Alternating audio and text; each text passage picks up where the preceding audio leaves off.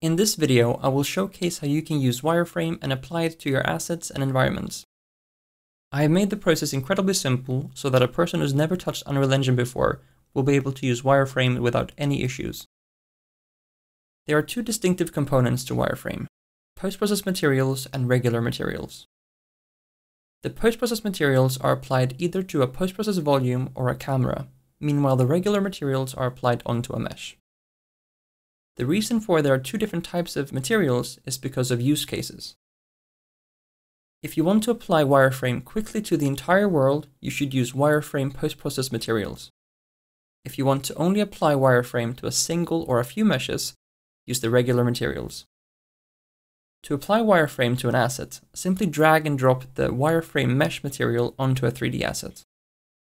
Alternatively, you can set the material inside of the material sections within the details panel. If you want to showcase a wireframe on your mesh but still maintain the original mesh at the same location, you can use the overlay material slot.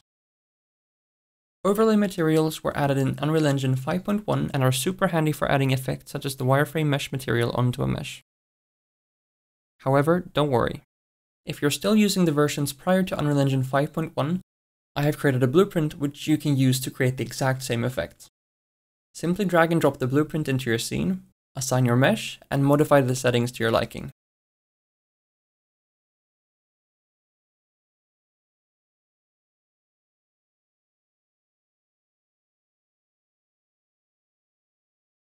To use the post-process materials, you either need a camera or a post-process volume.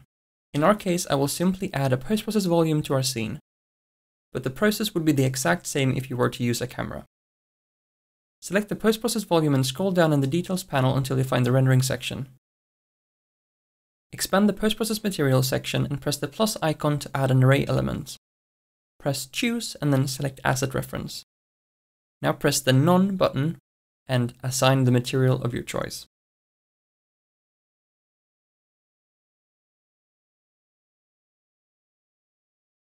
I suggest that you use the material starting with the letters MI. MI stands for material instance, and these materials are children of the parent materials, which start with the letter M. The material instance allow you to modify parameters in real time. To open up the material instance to gain access to all parameters, simply double-click the material instance.